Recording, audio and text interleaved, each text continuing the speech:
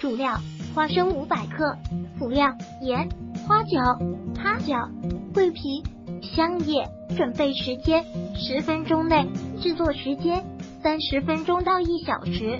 将花生倒入盆中，反复用清水彻底洗掉外壳上的泥土，然后用手将花生挤开一个小口，这样煮的时候就更入味了。将花椒、八角、桂皮、香叶准备好，锅中倒入适量清水，放入花生，然后再放入以上所有材料和盐，大火煮开后转成中火。